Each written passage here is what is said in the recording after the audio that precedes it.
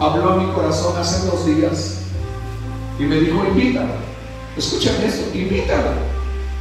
Sin yo conocer mayor eh, situación de tu música, de todo lo que Dios está haciendo. Y el Señor me dijo, invítame. Porque quiero que le digas eso. Yo la privilegié como una voz que no es necesario, no es necesario y no va a ser necesario que imites a nadie. Es una voz auténtica que lo que muchos dicen, el enemigo es, es, el, inventor de las cosas. No, el, enemigo no inventa nada, es Dios el inventor de las cosas. ¿Cuántos lo creen? Ahora, es cierto que hoy en nuestro mundo la han estado comparando con una voz y lo hago. Hay pastor,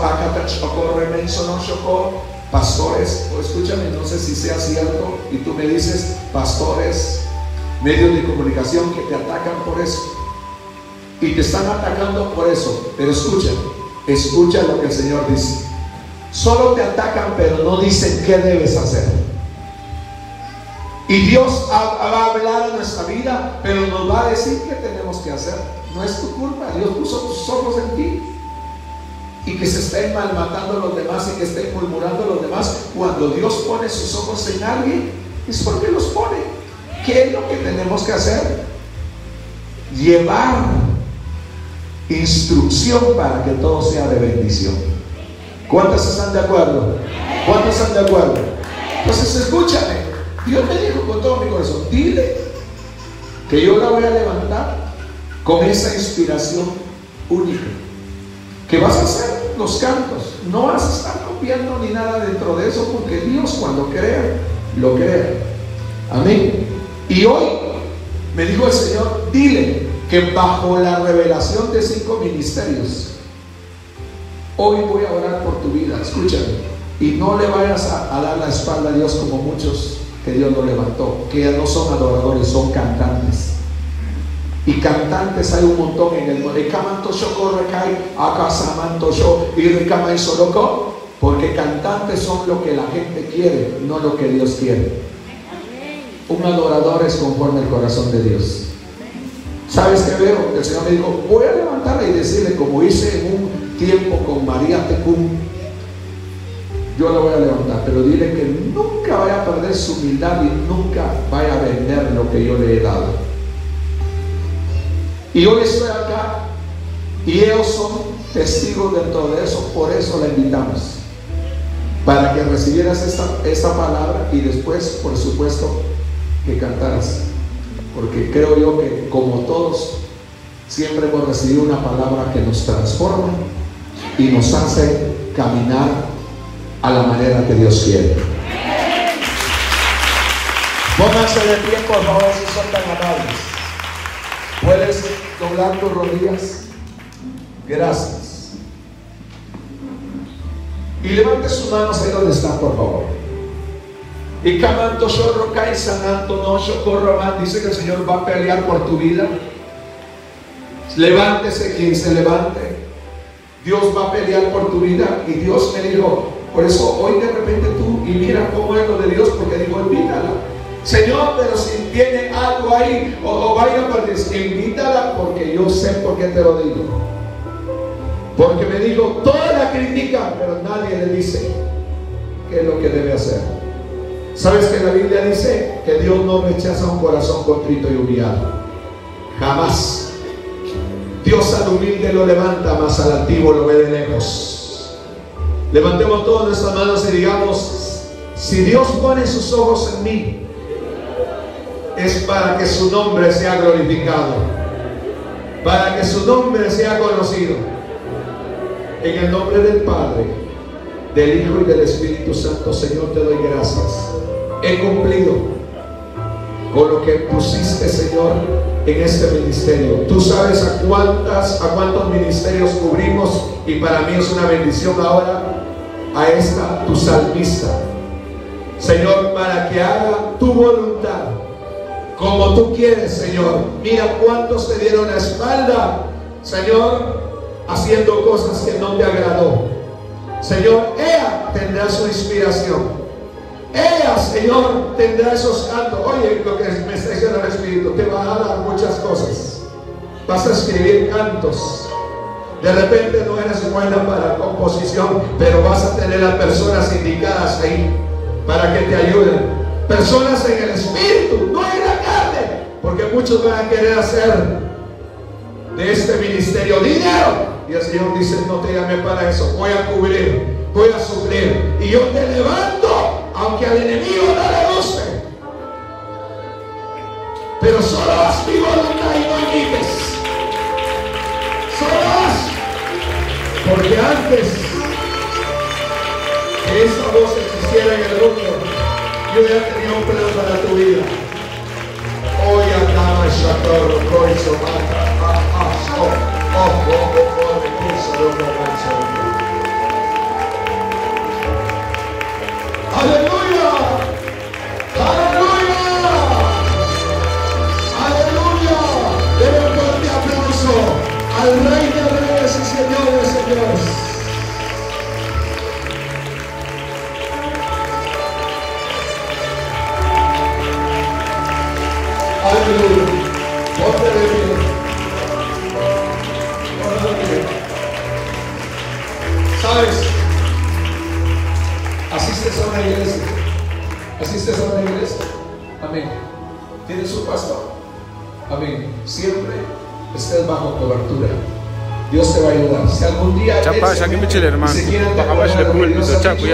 Recuerda, estamos para servir. Sabemos cuando Dios levanta algo, no vamos a detenernos. Al contrario, porque Dios ha levantado. Amén o no amén. Que Dios te bendiga. Bienvenida a San Pedro con todo nuestro corazón. Y hoy tienes ahí un espacio de 30 minutos para que puedas entonar. Y si algo Dios pone en tu corazón sobre tu vida, pues bienvenida. Lo que Dios en el Espíritu. Así que bienvenida. El tiempo es tuyo.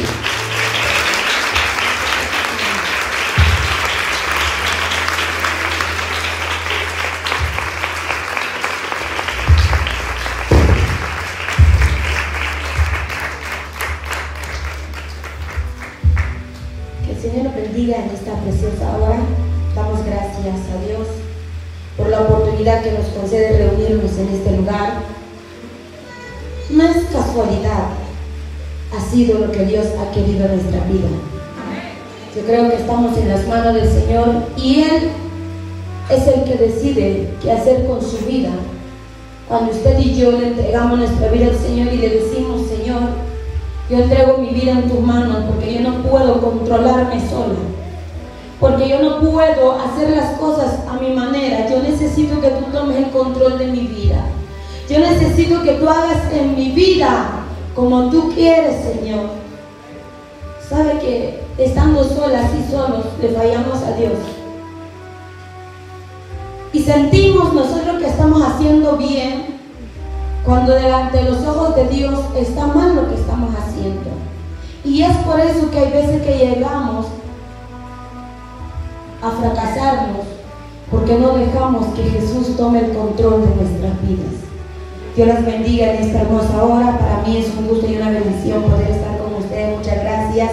Apóstol, Dios le bendiga, que el Señor nos siga bendiciendo siempre y que el Espíritu Santo vaya con usted a donde quiera que esté.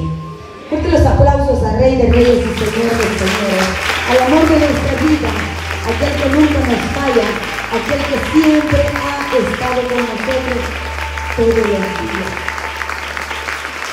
Mirad qué bueno y cuán delicioso es a Dios reunir a nuestros hermanos y hermanas bajo la presencia del Señor, en donde el Espíritu Santo está, usted y yo, no vamos a encontrar otro lugar más mejor, otro lugar donde usted y yo podemos llorar delante de la presencia del Señor y decir,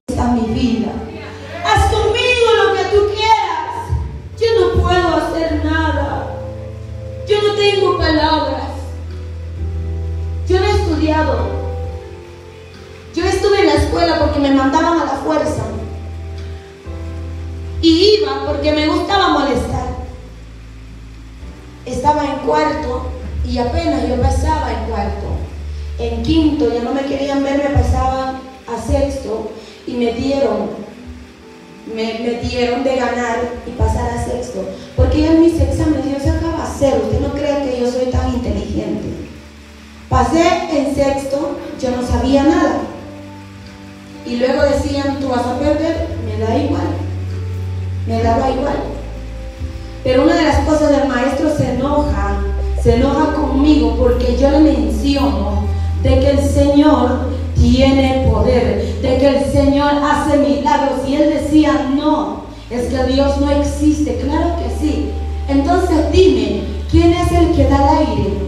Dime, ¿quién hace salir el sol? ¿Qué es el sol para usted? Se quedaba callado y me dijo, vas a perder el año, ¿está bien? Y estoy en este lugar y sabe que cuando surgió todo esto del video, yo le dije al Señor, ¿qué estás haciendo? Si tú sabes muy bien que yo no puedo hablar, ¿qué le voy a decir a tu pueblo? ¿Qué voy a decirle a ellos los que te necesitan? Y hace poco él me responde y me dice, es que tú no vas a hablar, yo soy el que va a hablar, porque yo conozco el corazón de cada uno, me dice el Señor. Y yo estoy en este lugar, no por mejor, no por buena, no es porque yo pueda hacer las cosas, yo estoy aquí por la gracia y misericordia del Señor.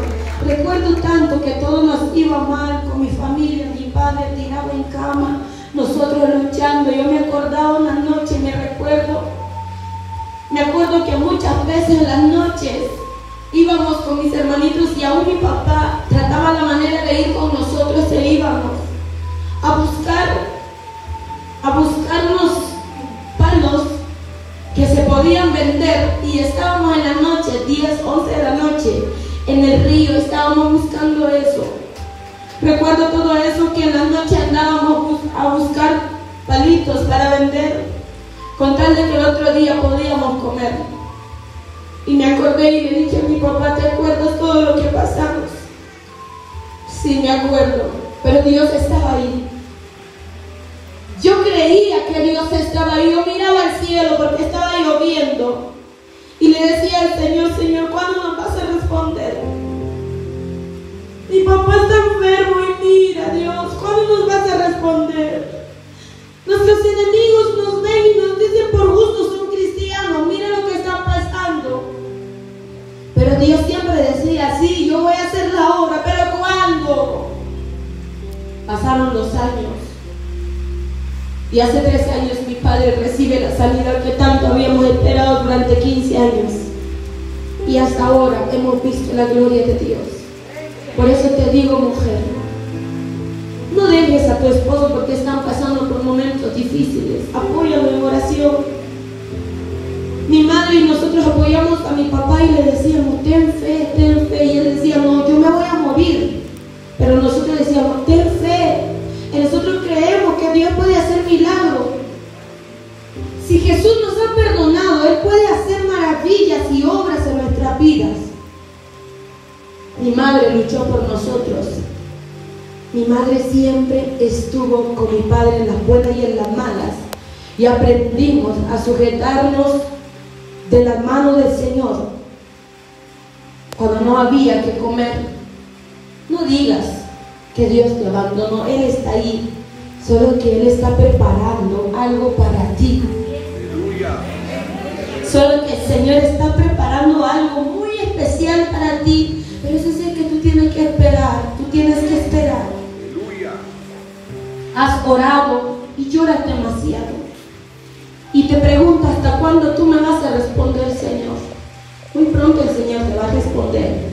Siempre he dicho y digo que tú no te vas a morir sin antes ver la gloria de Dios en tu vida. Sin antes ver el milagro del Señor en tu vida. El Señor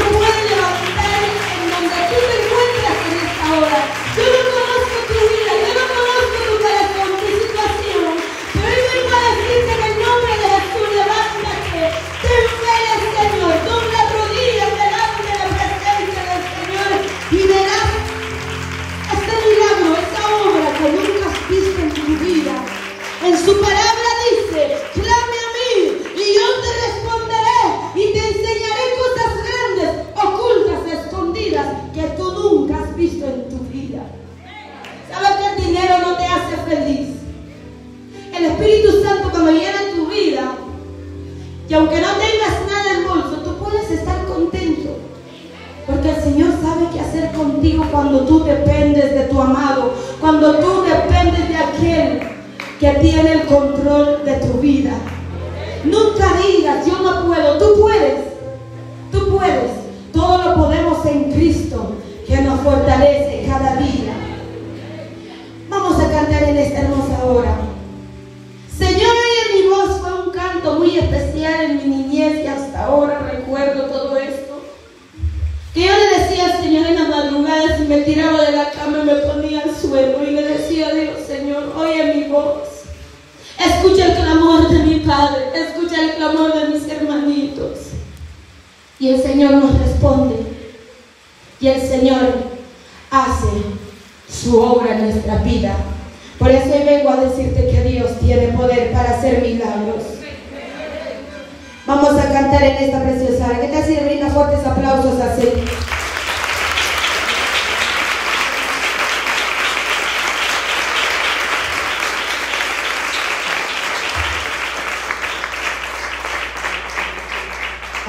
Alabado sea el nombre del Señor, bendito Dios para siempre.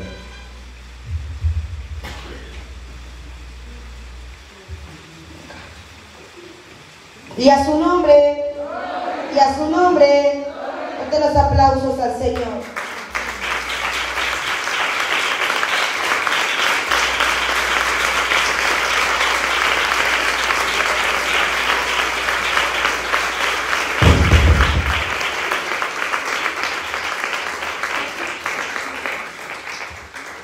El Señor está con nosotros, hermanos. Venga lo que venga, pase lo que pase, el Señor siempre va a estar con nosotros. En las luchas y en las pruebas, Él va a ser el amor de tu vida y nunca te va a abandonar. Que te fallen todos, que te olviden todos. Pero hay alguien que queda contigo.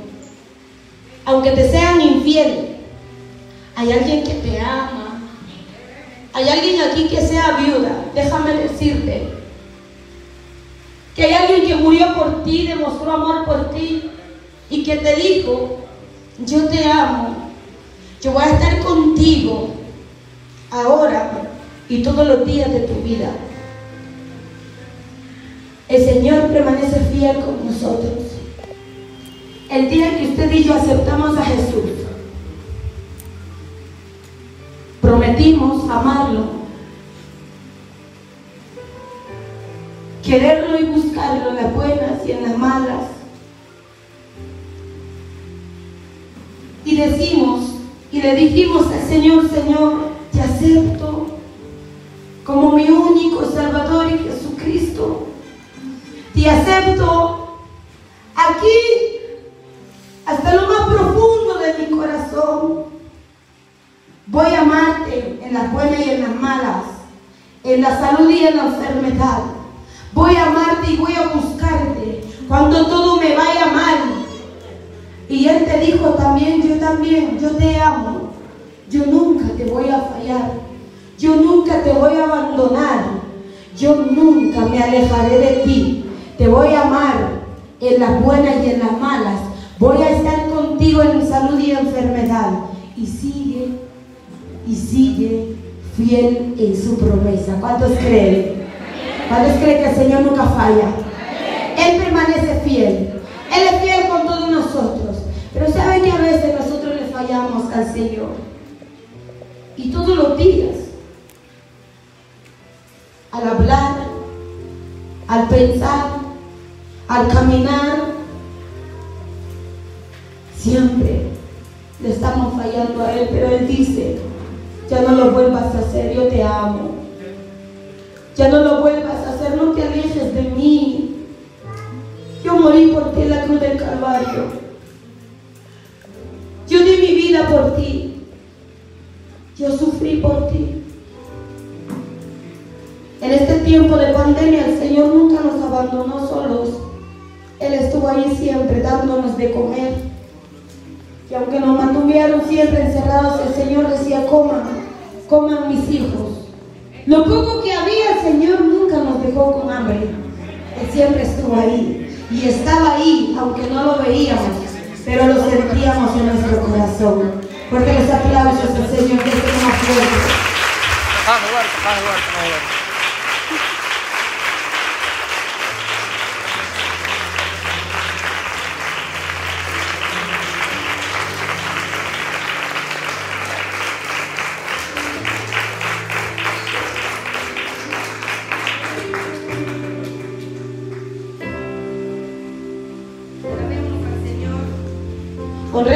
Siempre, cuando hay salud.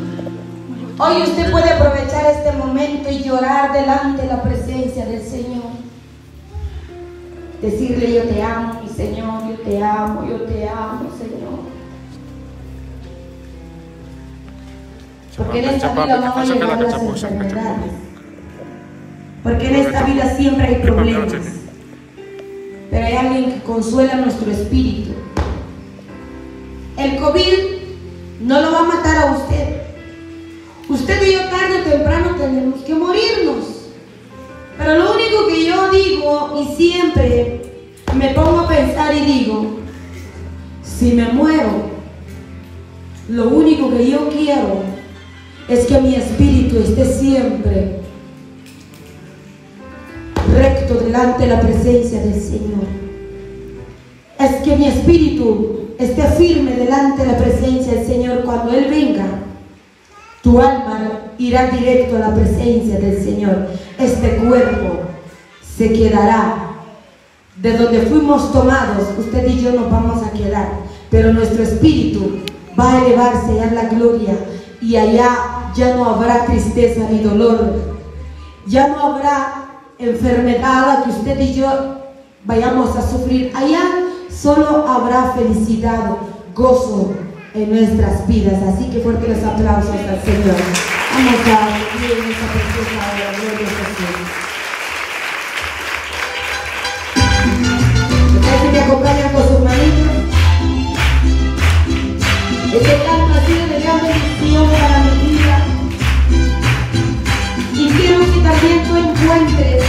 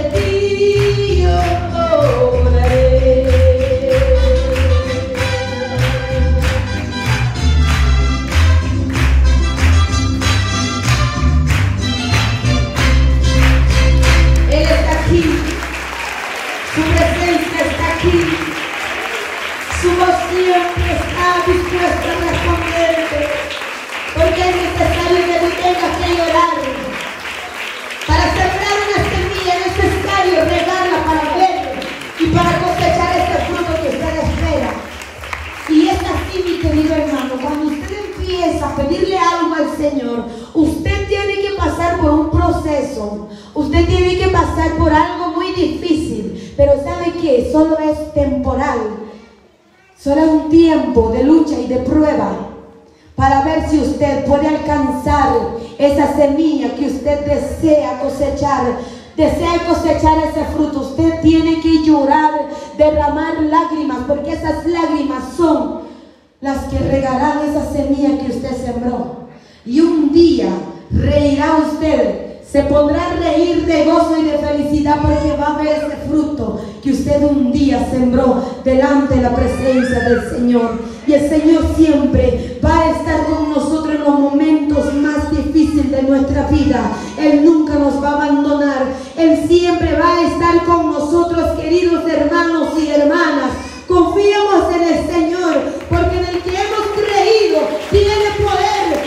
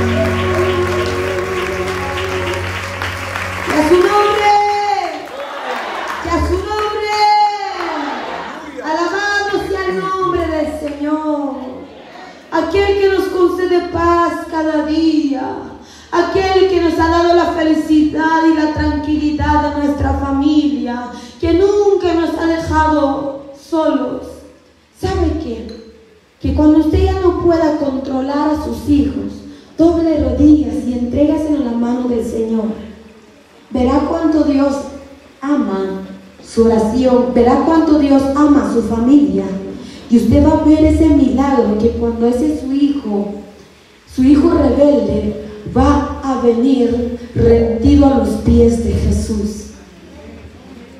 ¿Sabe qué? El Señor nos ama. El Señor ha estado con nosotros. Si no nos amara el Señor, ¿dónde estaríamos? Si Jesús no nos hubiera perdonado, ¿dónde estaría usted? ¿Dónde estaría yo? ¿Se imagina eso? Si solo por la gracia y misericordia del Señor fuimos alcanzados, fuimos limpiados y fuimos perdonados. Y aquí estamos, por la gracia del Señor, por su amor, porque dio su vida por nosotros y por su sangre fuimos limpiados. Por su muerte fuimos hechos hijos de Él también, hijas del Señor. Usted es una hija de Dios, hija de un rey. ¿Por qué teme cuando vienen las luchas y las pruebas? ¿Por qué tiene miedo? ¿Por qué dice a veces, ¿a dónde vamos a ir cuando ya no hay dinero? Si usted es su padre y el padre que usted conoce, que usted es el hijo de Él, es rey de reyes, dueño de todas las cosas, dueño del dinero, del oro y la plata. ¿Sabe que a veces vamos a prestar dinero? Que cuando sería de hablar con el dueño de allá arriba y decirle, Señor, papito lindo, fíjate que yo tengo una necesidad. ¿Sabe qué hace un hijo cuando se acerca a usted y dice, mamita, yo quiero un quetzal? ¿Qué hace usted? ¿No le va a dar? ¿O nunca le da un quetzal a su hijo usted? ¿Verdad que sí? Cuando su hijo le pide algo, usted se compadece y dice, aquí está mi hijo y usted dice, mejor yo no me voy a comer esto, mejor que se lo coma mi hijo, porque usted ama a su hijo. Así es el Señor con nosotros, mis queridos hermanos. Vamos a seguir cantando en esta preciosa hora. Y le voy a Cristo lo cantamos en esta preciosa hora.